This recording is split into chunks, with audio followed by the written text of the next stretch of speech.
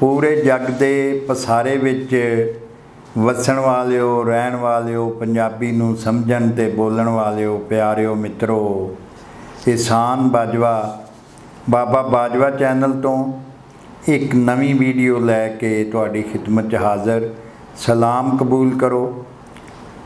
ਜਿਸ ਤਰ੍ਹਾਂ ਤੁਹਾਨੂੰ ਪਤਾ ਹੈ ਕਿ ਅਸੀਂ ਜੱਟ ਕਬੀਲੇ ਦੇ ਬਾਰੇ ਜਿੱਥੇ ਉਹਨਾਂ ਦਾ ਪਿਛੋਕੜ ਵੀ ਤੁਹਾਨੂੰ ਦੱਸੀ ਜਾ ਰਹੇ ਹਾਂ ਤੁਹਾਡੇ ਨਾਲ ਸਾਂਝਾ ਕਰੀ ਜਾ ਰਹੇ ਹਾਂ। ਇਸ ਧਰਤੀ ਦਾ ਤਗੜਾ ਕਬੀਲਾ ਜੱਟਾਂ ਦਾ ਜਿਹੜਾ ਕਬੀਲਾ ਧਰਤੀ ਸਦੀਆਂ ਤੋਂ ਹੁਕਮਰਾਨ ਆ ਰਹੇ। ਔਰ ਅੱਜ ਜਿਹੜੇ ਆਪਣੀ ਸੰਝਾਣਵੀਂ ਆਪਣੀਆਂ ਆਲਕੀਆਂ ਪਾਰੋਂ ਔਰ ਲੋਕਾਂ ਦੀਆਂ ਚਤਰਾਈਆਂ ਪਾਰੋਂ ਗਵਾਈ ਬੈਠੇ ਨੇ।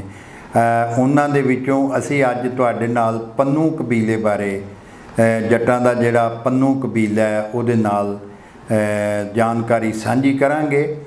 ਇਹਦੇ ਤੋਂ ਪਹਿਲਾਂ ਮੈਂ ਇਹ ਅਰਜ਼ ਕਰਦਾ ਜਾਵਾਂ, ਅੱਗੇ ਵੀ ਮੈਂ ਕਰਨਾ ਕਿ ਆਪਣੇ ਪਿਛੋਕੜ ਨੂੰ ਸਮਝਣਾ, ਆਪਣੀ ਜ਼ੁਬਾਨ ਨਾਲ ਪਿਆਰ ਕਰਨਾ, ਆਪਣੇ ਵਿਰਸੇ ਨਾਲ ਪਿਆਰ ਕਰਨਾ ਤੇ ਆਪਣਾ ਜਿਹੜਾ ਰਹਿਣ ਸਹਿਣ ਤੇ ਵਸੇਬ ਹੈ ਉਹਦੇ ਨਾਲ ਪਿਆਰ ਕਰਨਾ ਸੁਚੱਜੀਆਂ ਕੌਮਾਂ ਦਾ ਕੰਮ ਹੈ।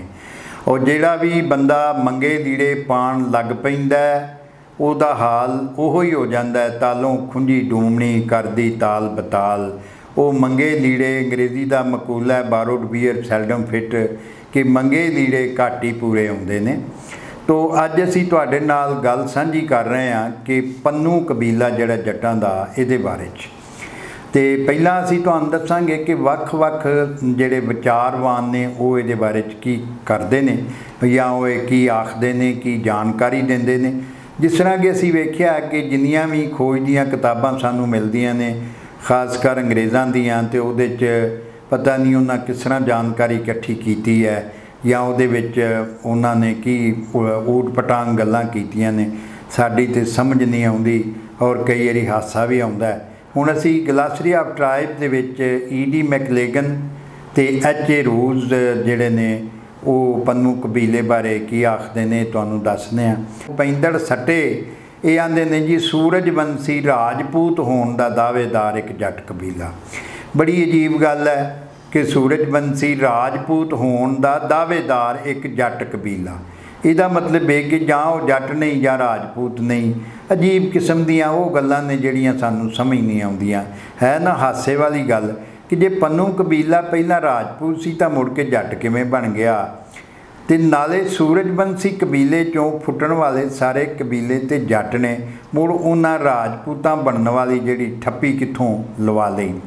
ਇਹ ਗੱਲ ਗਉ ਗੋਚਰੀ ਹੈ ਤੇ ਅਜੀਬ ਕਿਸਮ ਦਾ ਮਤਲਬ ਇਹ ਸਦੀਆਂ ਤੋਂ ਇਹ ਸਾਡੇ ਨਾਲ ਹੱਥ ਕੀਤਾ ਜਾ ਰਿਹਾ ਅੱਜ ਵੀ ਕੀਤਾ ਜਾ ਰਿਹਾ ਪੂਰੀ ਦੁਨੀਆ ਦੇ ਵਿੱਚ ਕਿ ਸਾਨੂੰ ਮਤਲਬ ਇਹ ਸਾਡੇ ਬਾਰੇ 'ਚ ਵੱਖਰੀਆਂ ਵੱਖਰੀਆਂ ਡਿਸਇਨਫੋਰਮੇਸ਼ਨਾਂ ਫੈਲਾ ਕੇ ਤੇ ਕਬੀਲੇ ਨੂੰ ਮਤਲਬ ਇਹ ਹੈ ਕਿ ਸਾਰੇ ਕਬੀਲਿਆਂ ਦਾ ਜਿਹੜਾ ਪਿਛੋਕੜ ਹੈ, ਉਹਨੂੰ ਗਵਾਨ ਦਾ ਚਾਰਾ ਕੀਤਾ ਜਾ ਰਿਹਾ ਹੈ ਔਰ ਇਹਦੇ ਸਾਡਾ ਆਪਣਾ ਕਸੂਰ ਵੀ ਹੈ ਕਿ ਅਸਾਂ ਅੱਜ ਤੱਕ ਕੋਈ ਸਿੱਕੇਬੰਦ ਤਜ਼ਕਰਾ ਜਿਹੜਾ ਆਪਣੇ ਕਬੀਲਿਆਂ ਦਾ, ਉਹ ਲਿਖਿਆ ਹੀ ਨਹੀਂ। ਕਿਸੇ ਨੇ ਇਸ ਪਾਸੇ ਧਿਆਨ ਨਹੀਂ ਦਿੱਤਾ ਤੇ ਜੇ ਕਿਸੇ ਦਿੱਤਾ ਤੇ ਉਹਨੇ ਉਹੋ ਹੀ ਫੜ ਕੇ ਕਿਤਾਬਾਂ ਅੰਗਰੇਜ਼ਾਂ ਗਰੂਜ਼ਾਂ ਵਾਲੀਆਂ ਸਾਰੀਆਂ ਜਿਹੜੀਆਂ ਉਹਨਾਂ ਮਰਾਸੀਆਂ ਕੋ ਅੱਗੇ ਪਿੱਛੇ ਸੁਣੀਆਂ ਸੁਣਾਈਆਂ ਤੇ ਕੁਝ ਆਪਣੇ ਕੋਲੋਂ ਵਿੱਚ ਗੱਲਾਂ ਪਾ ਪੂ ਕੇ ਤੇ ਸਾਰੀਆਂ ਸਾਂਝੀਆਂ ਸਾਡੇ ਨਾਲ ਕਰ ਦਿੱਤੀਆਂ ਨੇ।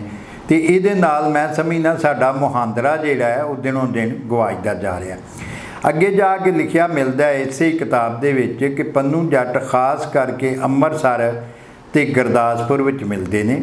ਇਹ ਤੇ ਗੱਲ ਠੀਕ ਹੈ, ਕਿਉਂਕਿ ਉਧਰ ਵੀ ਬਹੁਤ ਜ਼ਿਆਦਾ ਸਾਡੇ ਸਿੱਖ ਭਰਾ ਜਿਹੜੇ ਪੰਨੂ ਨੇ ਤੇ ਸਿਆਲਕੋਟ ਦੇ ਜ਼ਿਲ੍ਹੇ ਅੰਦਰ ਇਹਨਾਂ ਦੇ ਪੰਜ ਪਿੰਡ ਨੇ।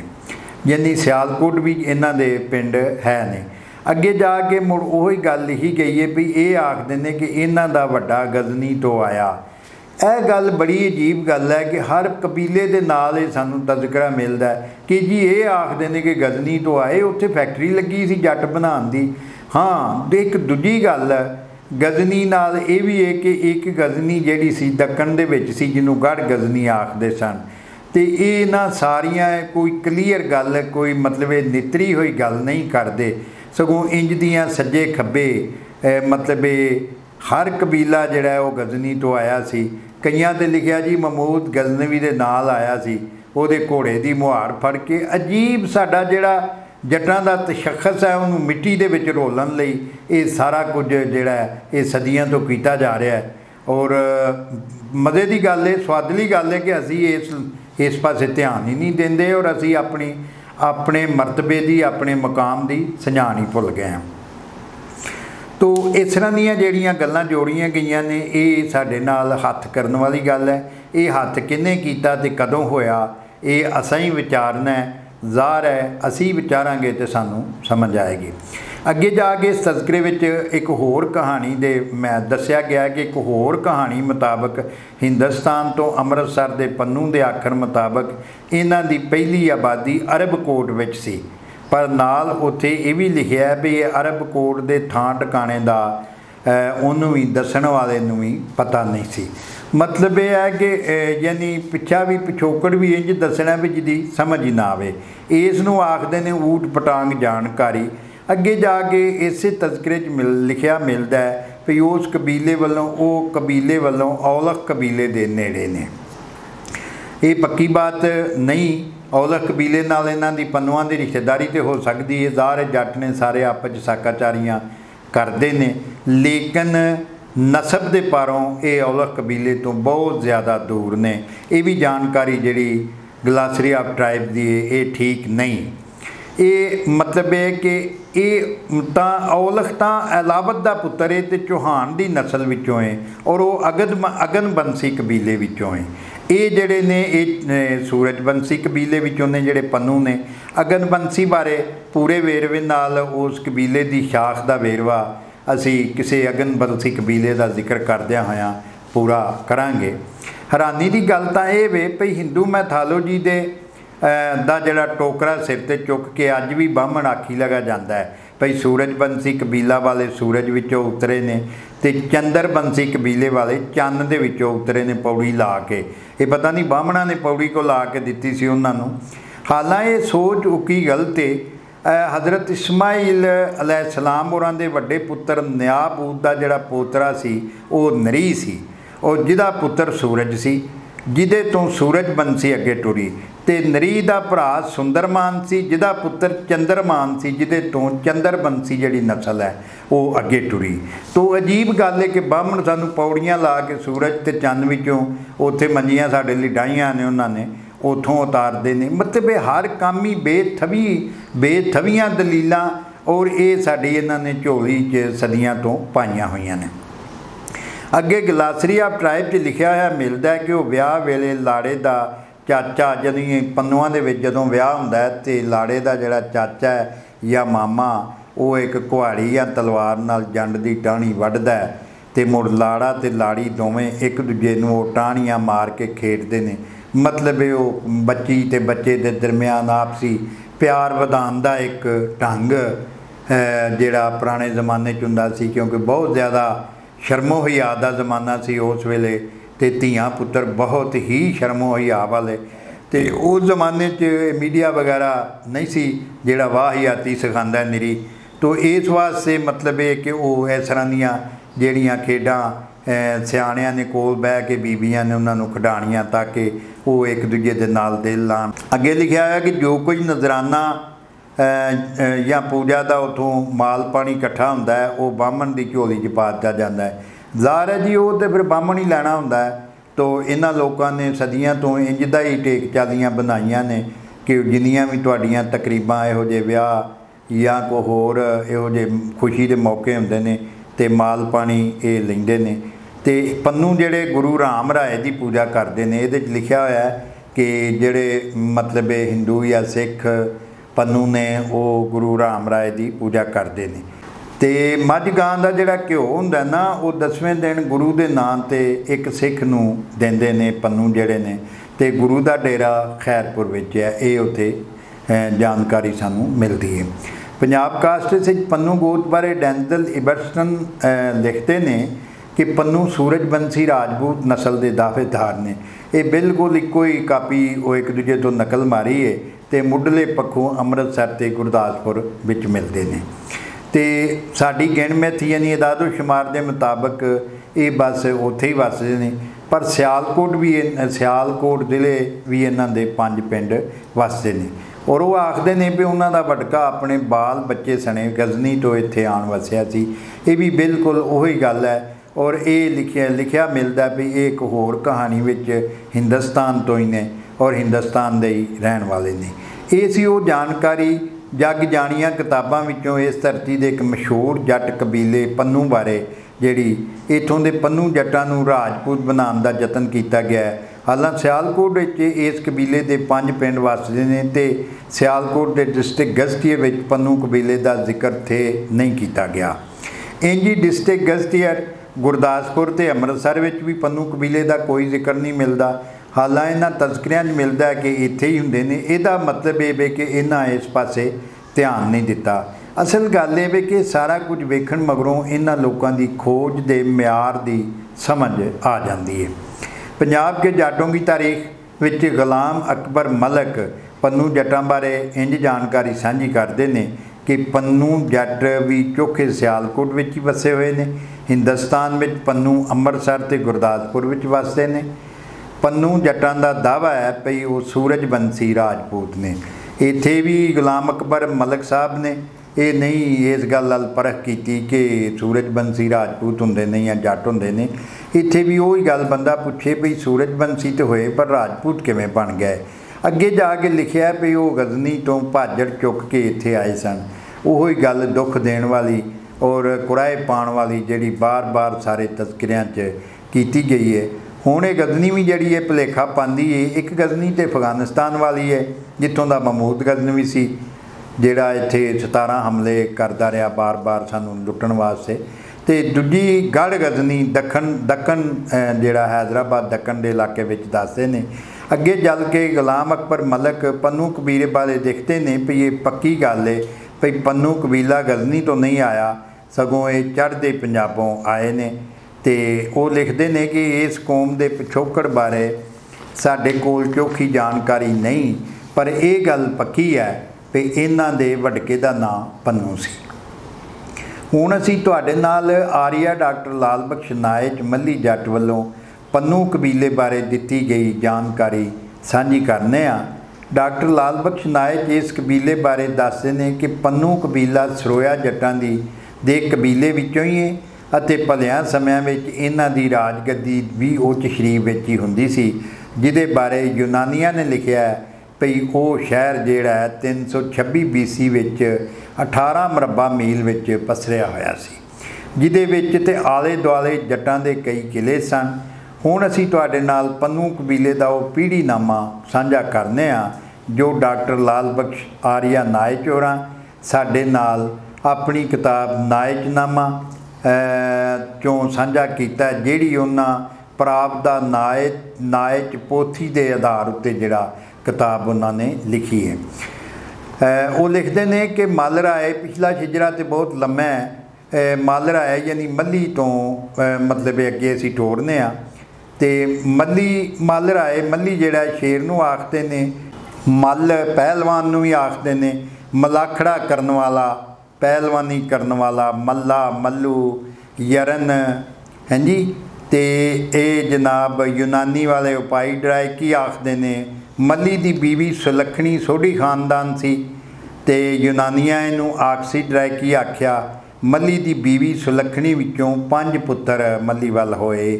ਭੁੱਟਾ ਡਾਰ, ਜਿਹਦਾ ਦੂਜਾ ਨਾਂ ਕਰਮਚੰਦ ਤੇ ਮੜਾ ਵੀ ਸੀ। ਨਾਇਜ ਸ਼ਜਰਾ ਸਗਰਾਇਆ ਤੇ ਸਗਰਾਲ, ਇਹ ਵੀ ਇਹਦੇ ਨਾਂ ਸਨ ਸ਼ਜਰਾ ਦੇ। ਤੇ ਪੰਜਵਾਂ ਜਿਹੜਾ ਸੀ, ਲੰਗਾ ਸੀ, ਜਿਹੜਾ ਮਸ਼ਹੂਰ ਪੰਜਾਬ ਤੇ ਸਿੰਧ ਦਾ ਕਬੀਲਾ, ਇਹਨੂੰ ਲਾਂਗਲ ਵੀ ਆਖਦੇ ਸਨ। ਇੱਕ ਮਾਂ ਵਿੱਚੋਂ ਹੋਣ ਵਾਲੇ ਪੁੱਤਰਾਂ ਨੂੰ ਸਮਾਤਰੀ ਭਰਾ ਆਖਦੇ ਸਨ। ਨਾਇਕ ਨੂੰ ਡੋਡੀ, ਡੁੱਡਾ, ਮੋਟਾ, ਹਿੰਦੀ ਵਿੱਚ ਨੇਤਾ, ਸੰਸਕ੍ਰਿਤ ਵਿੱਚ ਨਰਾਤੀਆ, ਪਾਲੀ ਵਿੱਚ ਨੱਚ, ਨਚਵੀ ਪ੍ਰਾਕਰਤ ਵਿੱਚ ਲੱਛ, ਲਛਵੀ, ਲਛਾਵੀ, ਯੂਨਾਨੀ ਵਿੱਚ ਵਿਕੀ, ਮਕਦੂਨੀ ਵਿੱਚ ਬਲ ਬਾਲਕਾ, ਇਹ ਸਾਰਾ ਜਿਹੜਾ ਇਹਦੇ ਨਾਂ ਇਹਨਾਂ ਨੇ ਦੱਸੇ ਨੇ। ਨਾਇਕ ਦੀਆਂ ਤਿੰਨ ਸਵਾਣੀਆਂ ਤੇ 11 ਬਾਲ ਹੋਏ। ਕੁੰਦਨ ਬਾਈ ਬੀਵੀ ਵਿੱਚੋਂ ਜੋ ਬੌੜ ਕਬੀਲੇ ਵਿੱਚੋਂ ਸੀ, ਉਹਦੇ ਵਿੱਚੋਂ ਬੁੱਚਾ, ਸੁਹਾਵਣ, ਨੌਲ ਜਾਂ ਨਵਲ, ਨੌਲ ਕਬੀਲਾ ਜਿਹੜਾ ਜੰਗ ਤੇ ਸਿਆਲ ਕਬੀਲੇ ਤੋਂ ਪਹਿਲਾਂ ਰਾਜ ਕਰਦਾ ਰਿਹਾ ਤੇ ਤੂਰ ਇਹ ਚਾਰ ਭਰਾ ਹੋਏ। ਨਾਇਕ ਦੀ ਦੂਜੀ ਸਵਾਣੀ ਚੰਦਨਬਾਈ ਉನ್ನੜ ਕਬੀਲੇ ਵਿੱਚੋਂ ਸੀ। ਉਸ ਵਿੱਚੋਂ ਪੱਛਾ ਸੁਹਾਵੜਾ, ਸੁਹਾਵਾ, ਪਨਾਏ ਚ ਚਾਰ ਪੁੱਤਰ ਹੋਏ। ਨਾਇਕ ਦੀ ਤੀਜੀ ਤਰੀਮਤ ਸਰਸਵਤੀ ਸੀ, ਜਿਹਦੇ ਵਿੱਚੋਂ ਡਾਹਾ ਨੱਚ, ਵੜਛਾ, ਨਾਇਕ ਹੋਏ। ਇਹ ਉਹਦੀ ਇਹ ਬੀਵੀ ਜਿਹੜੀ ਹੈ ਛਛੇਰ ਕੌਮ ਦੇ ਜੱਟਾਂ ਦੀ ਧੀ ਸੀ। ਯਾਦ ਰੱਖਣ ਵਾਲੀ ਗੱਲ ਹੈ ਵੀ ਜਿਹੜੇ ਕਬੀਲੇ ਦੇ ਅਖੀਰ ਤੇ ਨੱਚ, ਅੱਚ ਵਗੈਰਾ ਆਉਂਦਾ ਹੈ ਸਭ ਮੱਲੀ ਦੀ ਔਲਾਦ ਨੇ। ਜਿਵੇਂ ਡਾਹਾ ਨੱਚ ਨਾਇਚ ਸਾਇਚ ਬੜਾਏ ਨਾਇਕ ਵਗੈਰਾ। ਅਕਬਰ ਬਾਦਸ਼ਾਹ ਨੇ ਆਖਿਆ ਸੀ ਭਈ ਇਹ ਇੰਨਾ ਕੋ ਤੰਗ ਕਰਦੇ ਸਨ, ਮੁਗਲਾਂ ਨੂੰ ਵੀ ਔਰ ਉਹਦੇ ਤੋਂ ਪਹਿਲਾਂ ਨੂੰ ਵੀ ਕਿ ਅਕਬਰ ਬਾਦਸ਼ਾਹ ਨੇ ਇਹਨਾਂ ਦੇ ਬਾਰੇ 'ਚ ਇੱਕ ਖਾਨ ਬਣਾਤਾ ਸੀ ਕਿ ਨਾਇਕ ਦੀ ਸ੍ਰੀ ਖੁਦਾ ਵੱਲੋਂ ਫਿਰੀ। ਅੱਗੋਂ ਨਾਇਕ ਦੇ ਵੱਡੇ ਪੁੱਤਰ ਬੁੱਚਾ ਵੱਲ ਉਹਦੀ ਜ਼ਨਾਨੀ ਸਰਸਵਤੀ ਉਡਾਣੀ ਵਿੱਚੋਂ ਅੱਠ ਸਮਾਤਰੀ ਭਰਾ ਜੰਮੇ। ਉਹ ਸਨ ਜੱਲਾ, ਭੱਲਾ, ਭਾਇਲ, ਯਾਨੀ ਭਾਇਲਾ ਵੀ ਉਹਨੂੰ ਆਂਦੇ ਨੇ ਵੋਰਾ ਵੀ ਵੋਰਾ ਦੂਜਾ ਸੀ, ਗਗਲਾ, ਪੰਨੂ ਤੇ ਭੰਗੂ। ਇਹ ਯਾਨੀ ਜਿਹੜੇ ਉਹਦੇ ਚੋਂ ਅੱਠ ਪੁੱਤਰ ਜੰਮੇ ਸਨ ਨਾਇਕ ਦੀ ਜਿਹੜੀ ਜ਼ਨਾਨੀ ਸਰਸਵਤੀ ਉਡਾਣੀ ਸੀ ਉਹਦੇ ਵਿੱਚੋਂ 8 ਪੁੱਤਰ ਜੰਮੇ ਸਨ। ਜੱਲਾ, ਇਹ ਵੀ ਜਲਾਣੀ ਕਬੀਲੇ ਦਾ ਪੱਲਾ ਪਲਾਣੀ ਕਬੀਲੇ ਦਾ, ਭਾਏ ਲਾਣੀ ਕਬੀਲੇ, ਇਹ ਸਾਰੇ ਸਿੰਧ ਚ ਕਬੀਲੇ ਮੌਜੂਦ ਨੇ।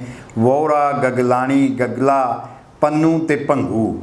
ਅੱਗੋਂ ਪੰਨੂ ਦੇ ਪੁੱਤਰ ਪੰਨੂ ਹਾਨ, ਜਿਹਦੀ ਔਲਾਦ ਮੁਜ਼ੱਫਰਗੜ੍ਹ, ਮੀਰਪੁਰ ਡੇਰਾ ਗਾਜ਼ੀ ਖਾਂ, ਪੱਖਰ, ਹਾਸਲਪੁਰ, ਦਰਿਆ ਖਾਂ, ਪੰਨੂ ਖੇਲ ਮੀਆਂ ਵਾਲੀ ਕੋਟ ਡੀਜੀ ਵਿੱਚ ਵਸੀ ਹੋਈ ਹੈ ਤੇ ਨਿਸ਼ਹਿਰ ਨਸ਼ਹਿਰਾ ਫਰੋਜ਼ ਵਿੱਚ ਵੀ, ਜਿਹਨੂੰ ਸਿੰਧੀ ਨਿਸ਼ਹਿਰੋ ਫਰੋਜ਼ ਆਖਦੇ ਨੇ, ਉਹਦੇ ਵਿੱਚ ਵੀ ਵਸੀ ਹੋਈ ਹੈ ਅਗਲੇ ਪੁੱਤਰ ਪਣ, ਪੰਨ, ਪਲੋਮਾ, ਸਾਵੰਦ ਸਾਵੰਦ ਜਿਹੜਾ ਮਤਲਬ ਇਹ ਅੱਗੇ ਸੀ, ਉਹ ਜਿਹਦੀ ਔਲਾਦ ਜਨਾਬ ਅੱਗੇ ਪਖਰਾਣੀ ਤੇ ਵਜ਼ੀਰ ਆਣੀ, ਇਹਨਾਂ ਦੇ ਪੁੱਤਰਾਂ ਚੋਂ ਅੱਗੋਂ ਤੇ ਇਹ ਰਹੀਮ ਯਾਰ ਖਾਂ ਖੁਸ਼ਾਬ ਤੇ ਇਲਾਕੇ ਮਿੱਠਨਕੋਟ ਤੋਂ ਸੱਖਰ ਦਰਿਆ ਤੀਕ ਦਰਿਆਏ ਸਿੰਧ ਦੇ ਕੰਢਿਆਂ ਤੇ ਵਸੇ ਹੋਏ ਨੇ।